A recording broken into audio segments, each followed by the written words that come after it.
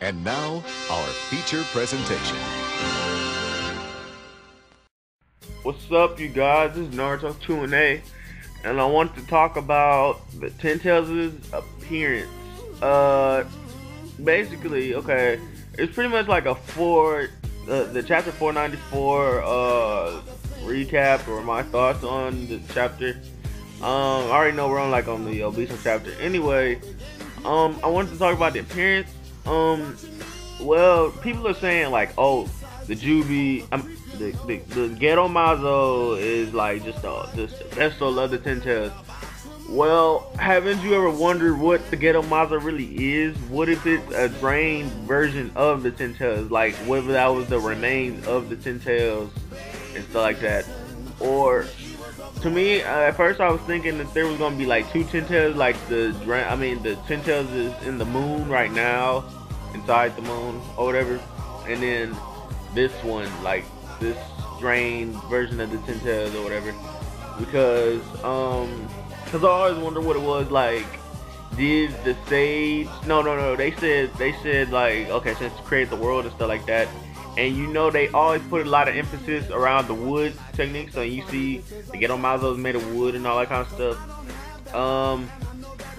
Okay. Uh. Pretty much. Uh. It's like Gaia from God of War. The, to me, I think the Gedo Mazo is like Gaia off of God of War. Like it's wood. It's like Tails and, and uh, it's like Mother Earth. Mother Earth, pretty much like it's it's it it made it made the planet Naruto planet. It made the Naruto planet. Um, but what I'm trying to say is that they're saying like, oh, it's a uh, it's a um, you know, it's a drain version of the Ten Tails, or it's uh, it's it's uh, probably that people are saying, other people are saying like, oh, uh, they're saying Hashirama has something to do with the the Gedo Mazo. Oh, I think. Oh, oh, oh, oh. I think. I think. Um, it was used when the war times was going around, they uh used it uh to seal the tail beast, like to keep it all under control. Cause remember they said that the Hashirama captured several several of them, that kind of stuff. Possibly that could be a that could be a uh, possibility right there.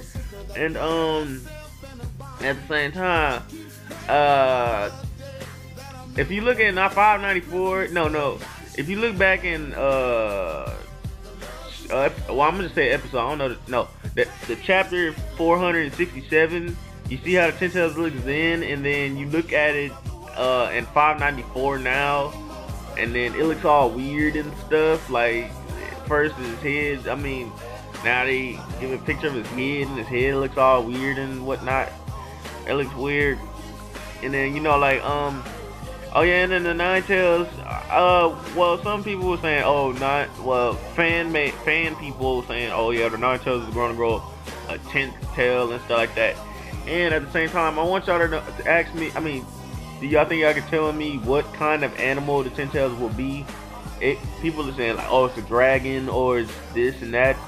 Well, uh, I I can't really make it out. Uh,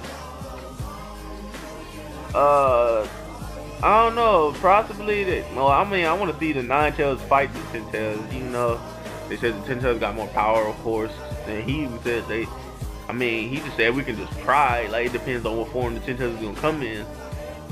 And uh, well, and then I want to talk to um about uh if if the Nine Tails no oh, Killer Bee Killer Bee is gonna get captured. We already know that. Like he showed signs of it because you remember how Toby Obito had cut down um Killer Bee's cousin. He he gonna die. I know I know Madara will kill him until Madara get back. I mean until Naruto get back because um you know he's stuck in that dimension or whatever.